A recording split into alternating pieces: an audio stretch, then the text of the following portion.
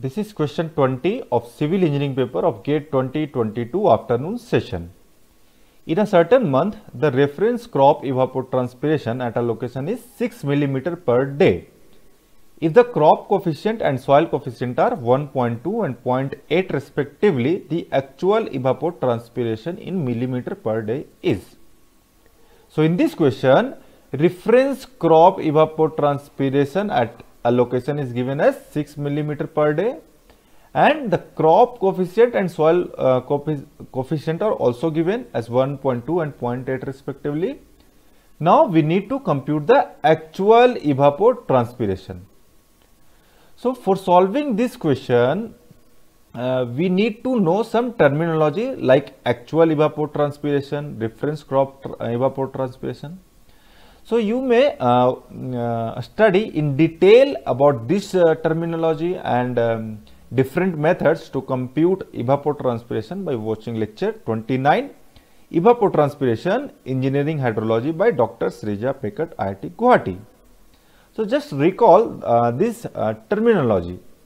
So, evapotranspiration uh, is the combination of two words evaporation and transpiration. So, evaporation is evaporation directly from the soil surface whereas transpiration occur through vegetation.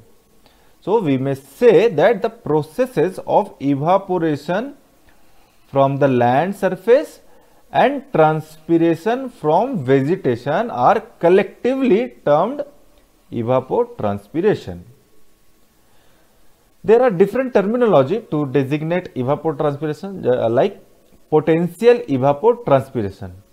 So, potential evapotranspiration means evapotranspiration that would occur from the vegetative, uh, vegetative surface when there is sufficient water always available to meet the needs of vegetation means when the surface has sufficient water for that crop or vegetation in that case the evapotranspiration occurs is known as potential evapotranspiration.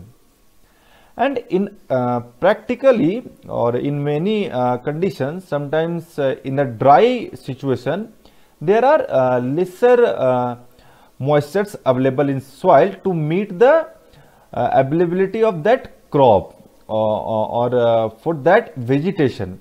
So, in that case the evapotranspiration occur is called actual evapotranspiration.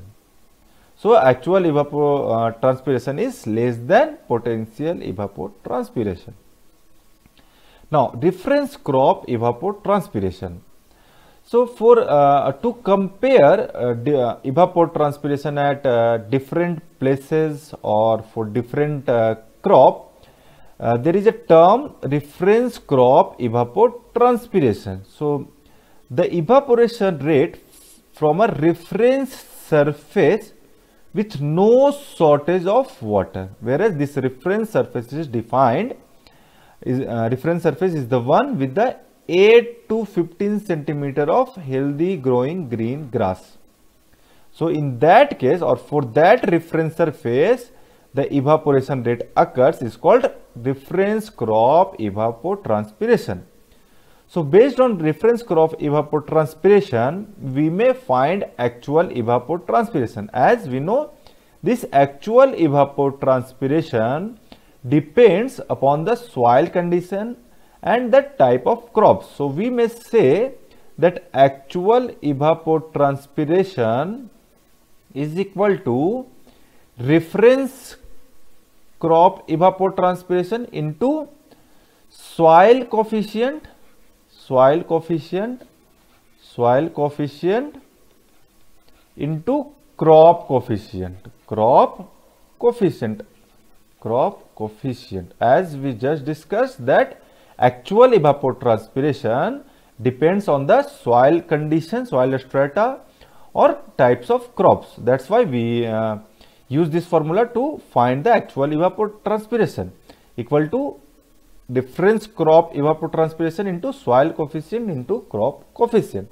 So in this question, we have the value of crop coefficient and soil coefficient. So we may find the actual evapotranspiration equal to reference crop uh, evapotranspiration which is 6 millimeter per day into soil coefficient which is 0.8 into crop coefficient which is 1.2.